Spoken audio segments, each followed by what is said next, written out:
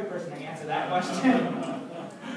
well, you, you know, corporations have, and corporations and, like AT&T have historically changed. Uh, AT&T has upwards of 250,000 employees, and, and, and that is a culmination of uh, entry-level employees, uh, management and upper management executives uh, that uh, all have different needs and different desires as to how they want to communicate.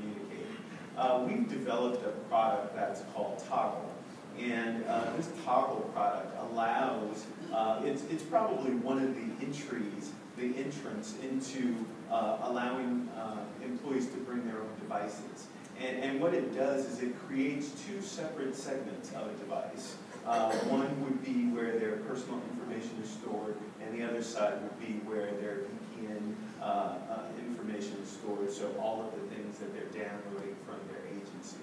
Um, what, what companies have to, and enterprises and small businesses have to understand when they begin to do something like that is they, they have to understand that you've got to move from being sort of the bureaucratic environment where everything is controlled, and you have to give a certain amount of, of, of, of, um, of, of trust to your employees and be able to trust that, hey, I've hired these people to do uh, a job for me, and I trust that they are going to act in a way that um, is is, going to represent my company and my corporate image well.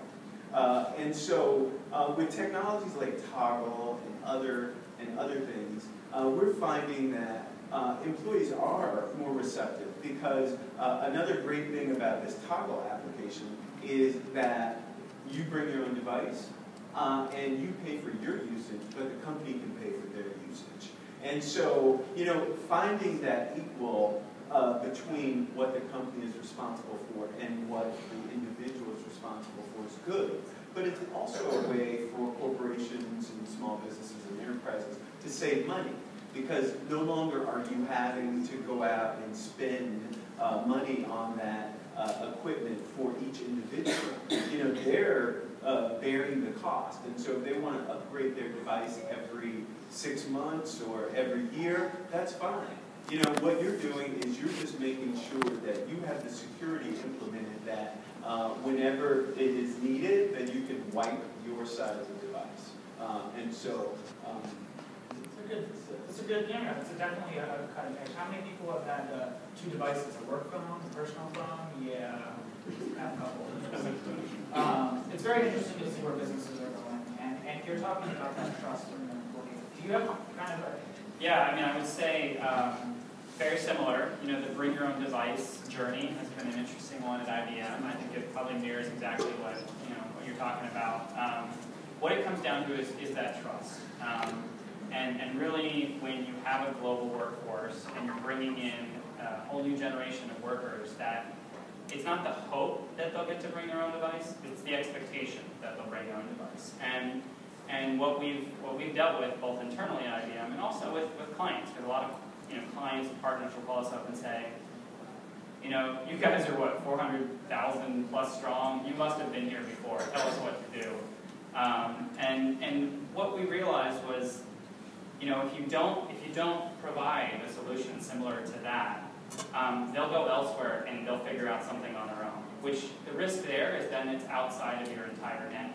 Um, and there's many, many, many more compliance issues. So what we provide is we provide strong, you know, guidelines, right? It, it, doesn't have to come down and constantly be, you know, you're in the wrong, you're in the right, but we, it comes down to trust. We hire talented people who are really smart and care about the world and want to do the right thing. So we put that trust in them with guidelines. We'll say, you know, social media guidelines, we'll provide that to them. With technology guidelines, we'll provide that to them. Um, of course, I do think you need the security um, in there for those opportunities when it doesn't go that way.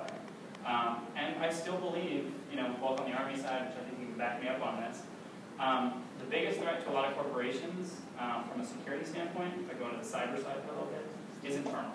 And a lot of times people don't know they're making those mistakes. So the other part I would say here is education.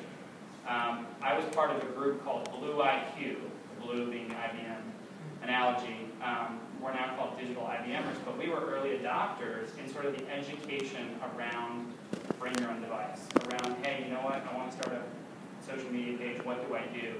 And I work with a lot of executives, more than anything else, I work with executives, because they want to do it right, and they have a lot of questions, but they're afraid to ask the questions. So the great thing is by sort of reverse mentoring, pairing up with them, you can, you can get through a lot of those growing pains and make sure that they're on the right path so that issues don't come up.